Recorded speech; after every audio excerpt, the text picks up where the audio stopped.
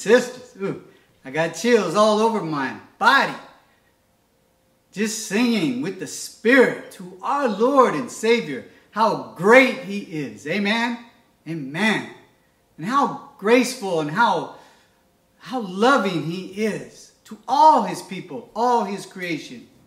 Today is a new day, and tomorrow's going to get better because you and I are going to read the Word of God and learn how much He loves all creation, especially the Jews. Amen? Amen. But before we get started, I'd like to say a prayer, so please bow your heads with me and pray. Dear Heavenly Father, I humbly come before your throne. I thank you, Lord, for putting the scriptures together in the order that you want me to read them. I pray, Father, that you give me double the Holy Spirit and that it is your words that speak out of my mouth, not mine. I pray that all the people you have drawn to watch this video, that you open all of their eyes, ears, heart, mind, and soul to your amazing word and what it is you want to convey to them. And your will always be done, Father, not mine. And I pray this in the precious name of Yeshua. Amen. Amen, brothers and sisters. Sometimes you may hear me say Yeshua. That's how you say Jesus in Hebrew. So if you brought your Bibles today, please turn to the book of Ezekiel, chapter 20, We'll start reading in verse 33. As I live, says the Lord God, surely with a mighty hand, with an outstretched arm, and with fury poured out, I will rule over you. I will bring you out from the peoples and gather you out of the countries where you have scattered with our mighty hand and an outstretched arm, and with fury pour it out. And I will bring you into the wilderness of the peoples, and where I will plead my case with you face to face. Just as I pleaded my case with your fathers in the wilderness of the land of Egypt, so will I plead my case with you, says the Lord God.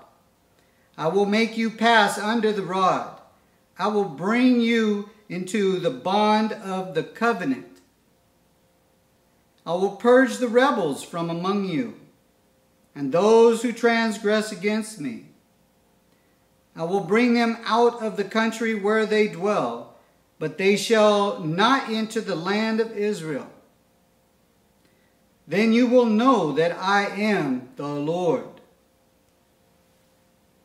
Here, brothers and sisters, he's definitely talking to the Israelites. And he says he will bring them back from the lands that they have been scattered. And that happened in 1948, as you know. He's brought them back to the land he promised them when he brought them out of bondage from Egypt. Amen? Amen. But he's going to purge out the evil that is in that land that is keeping them from salvation and receiving Yeshua in their heart. Now, the second passage we will read is found in the book of Luke, chapter 20. Jesus gives a parable starting verse 9. Then he began to tell the people this parable. A certain man planted a vineyard, leased it to vine dressers, and went into a far country for a long time. Now at the vintage time he sent his servant to the vine dressers, that they might give him some of the fruit of the vineyard. But the vine dressers beat him and sent him away empty handed. Again he sent another servant and they beat him also, and treated him shamefully, and sent him away empty handed. And again he sent a third, And they wounded him also and cast him out. Then the owner of the vineyard said, What shall I do? I will send my beloved son. Probably they will respect him when they see him. But then the vine dressers saw him, and they reasoned among themselves, saying, This is the heir. Come, let us kill him, that the inheritance may be ours. So they cast him out of the vineyard and killed him. Therefore, what will the owner of the vineyard do to them? He will come and destroy those vine dressers and give the vineyard to others.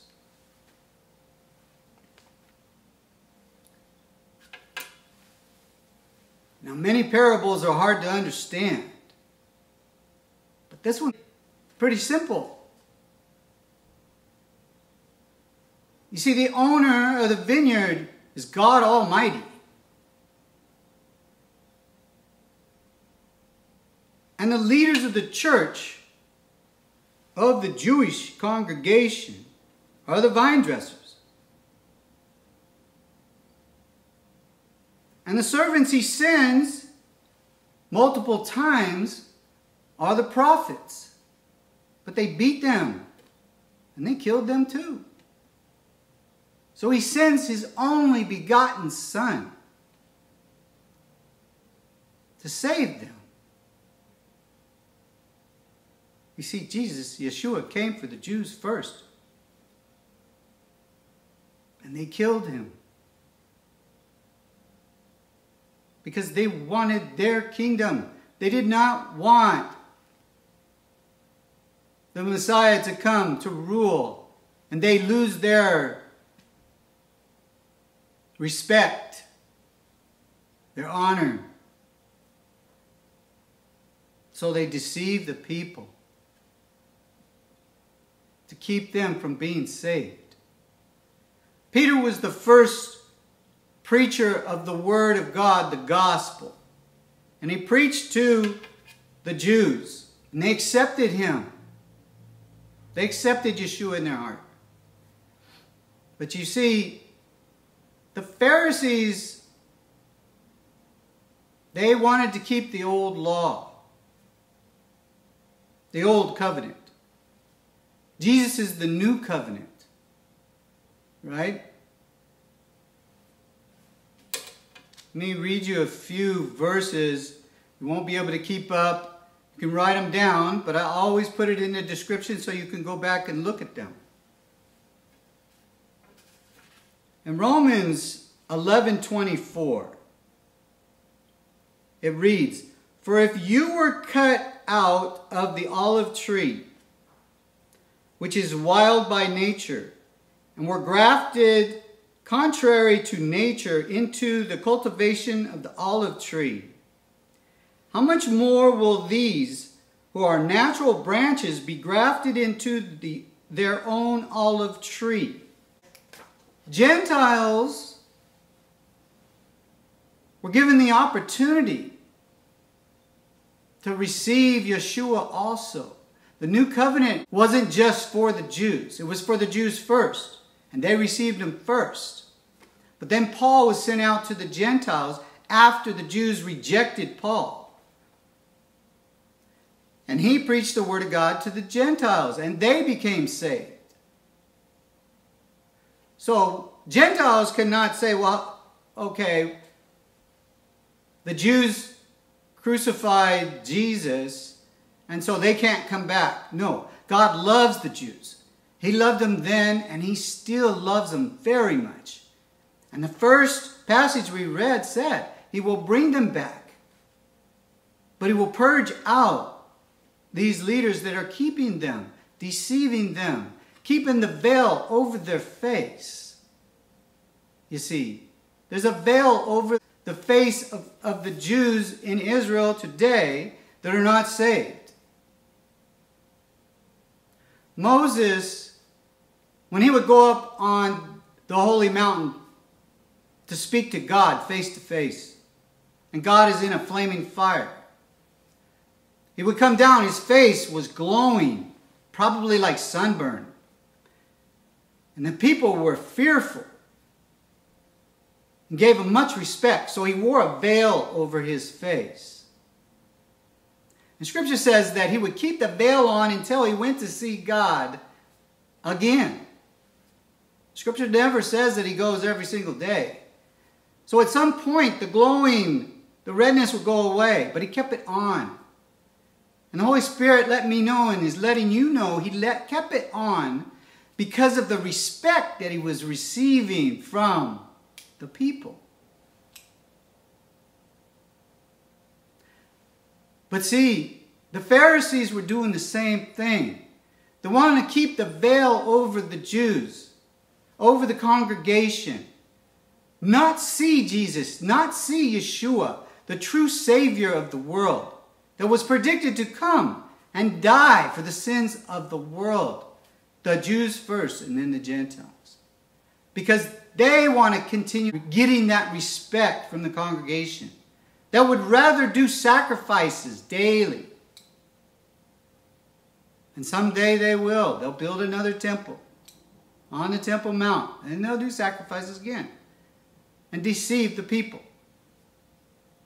But Yeshua was the ultimate sacrifice, the one and only sacrifice that was needed for the world. And so we can just ask for forgiveness with remorse in our heart, and God forgives us.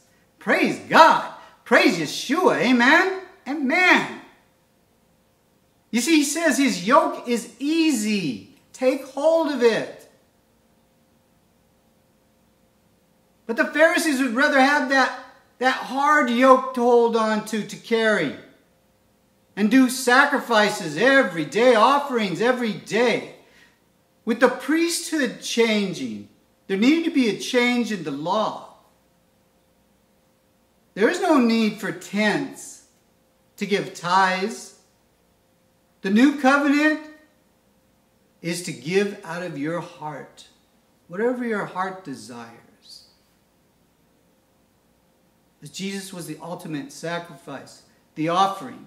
If the offering of goats and lambs and sprinkle blood around the altar seven times will forgive sins, how much more will the only begotten Son, who came from his throne, incarnated in human form, to die a crucifixion and arise and conquer death, the grave, for remission of sins, how much more of the blood of Jesus will forgive your sins forevermore.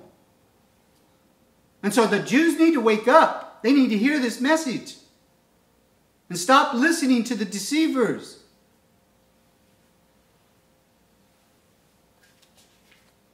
In Luke 5:39 it says no one having drunk the old wine immediately desires new for he says the old is better.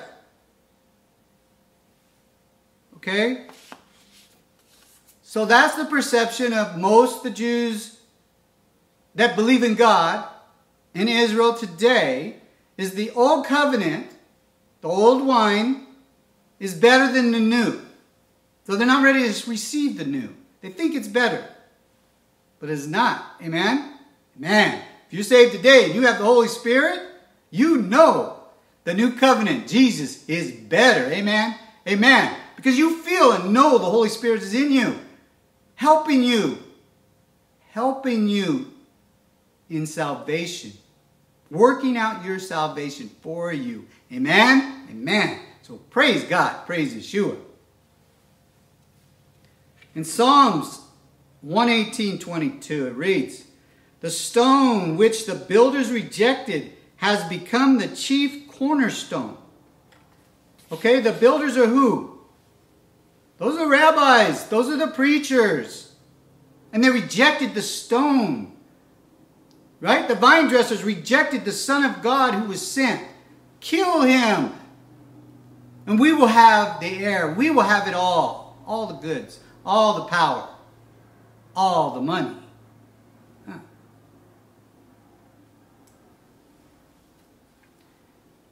In the book of Mark 2.22 it reads, And no one puts new wine into old wineskins, or else the new wine bursts the wineskins.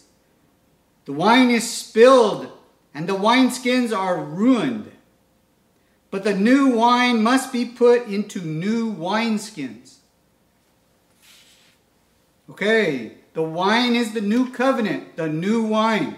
The old wine is the old covenant. Okay? And so you can't mix both. They wanted their cake and eat it too. You understand? They wanted to worship Jesus. Okay, we'll become Christians, Nazarenes, but we're still going to believe the first covenant We'll circumcise our children, which is not a bad thing. It's clean. But it was a requirement. The first covenant, you had to. The new covenant, God circumcises your heart in a pure, loving heart. Amen. Amen. Mm.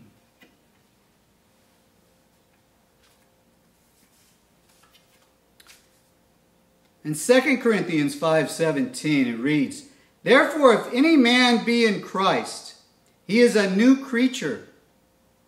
Old things are passed away, and behold, all things become new." You understand? If you have Christ inside of you, you have the Holy Spirit in you. You are new creation.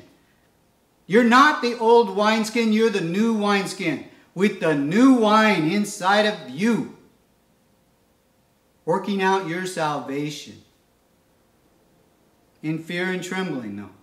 You still have to respect God and keep your walk with Yeshua, Jesus. He knows you're not perfect. Only one that walked the earth perfect was Yeshua. So he knows you're going to make a mistake. And praise God praise Yeshua, for what he had done.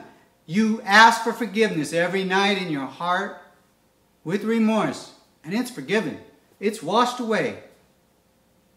He no longer remembers it. But you've got to ask. You have to have that respect. Get on your knees every night and ask the Lord to forgive you for the sins you've done and the sins you've done that you don't know what they were. Sometimes you can sin and not realize it. Amen? Amen. In Revelations 2, verses 4 and 5, reads, Nevertheless, I have this against you. And He's talking about a church. That you have left your first love. Remember, therefore, from where you have fallen. Repent and do the first works or else I will come to you quickly and remove your lampstand from its place, unless you repent. The lampstand is the pastor, the preacher, the rabbi, all of the above. Doesn't matter if it's a Gentile Christian church preaching wrong, deceiving you, telling you you can go be an adulteress, an homosexual, a lesbian, a fornicator, and God loves everybody and you're going to make it. Or a rabbi saying, this Yeshua is a false prophet. Don't believe him. Don't even mention his name. That's what they tell the people. Don't even mention his name in the country. Can you imagine? So where the parable says, what is God, the owner of the vine dresser, going to do when he comes back to those who killed his son and kept his chosen loved ones, the Jews we loved more than anything, to come to him and receive that free grace that he died for them first. You think he's just going to say, okay, you're the seed of Abraham. Come on and enjoy the kingdom of heaven? No. He will take them out and cast them into the lake of fire and brimstone where the devil and his angels are. Trust me. This message is not to correct the church or the ministers of the church. This message is to bring anyone to Christ, to Yeshua, to give their life to, Him. to the Israelites first. The message is to the Jews first. He came for you first. He loves you dearly. And he tells you in the old text, in Exodus, when he talks about marriage, if you marry a woman, you get a divorce. She marries another man and she wants to come back. She cannot come back to you because she is defiled. But he tells you in one of the prophetic books that it's true, right? And you agree. And he says, But you know what? I love you and I will forgive you. Just come back to me. And I will forgive your sins and not remember them. And you will be with me in the kingdom of heaven. You understand? So, brothers and sisters, if you want to give your life to the Lord today, whether you're a Jew or a Gentile, or maybe you've backslid, and become a prodigal son or daughter, and you want to rededicate your life to the Lord, please bow your heads with me and repeat after me. Dear Heavenly Father, we humbly come before your throne. We thank you for sending your only begotten Son to die on a cross for my sins. And thank you, Yeshua, for being obedient unto death. And Father, forgive me for all the sins that I have done. And all the sins I've done that I don't know what they are. Mm. We have true remorse, Father. Please forgive us and lead us out of temptation. Help us to renew our mind. Take this carnal mind away from us. And renew our mind completely, Father. When you feel we're worthy, fill us with the Holy Spirit, Father. And renew this stony heart into a pure, loving, circumcised heart. And help us to share the gospel with others. And your will always be done, Father, not mine. And I pray this in the precious name of Yeshua, Jesus. Amen. Amen, brothers and sisters. So if you said that prayer, if you don't have a Bible, get one. And read it every day. The only way we know how to please God and do His will is to read the truth, and that's the Bible. You need to fellowship. I'm here every Sunday at home worship, and on Wednesday I have a Bible study. Feel free to join in. And if not, find a genuine Christian church to worship with. And you'll know the genuine Christian church because they will be reading the Word of God. They will be preaching the gospel, the New Testament. They will preach both. And if they're not, find a different church. And worship with the Spirit. When you sing, sing with your soul and spirit, not just with your lips. Mean it. And it's power against the devil. The devil cannot stand the Word of God, recite the Word of God, read the Word of God. He's not there. He will flee. Sing worship songs in your mind, in your heart, in your soul. And he won't be there. He will flee. And use the power of the blood of Jesus to rebuke the devil if he is tempting you, as Michael did in Jude. Say, the Lord rebuke you, and then add, by the blood of Jesus, or in Jesus' name. And he's gone. He cannot stand the word Jesus, he cannot stand the gospel, and he cannot stand worship songs. All right, brothers and sisters? All right. So today is a new day, and tomorrow's going to get better because we are going to be prepared to meet our Lord and Savior face to face. Amen. Amen.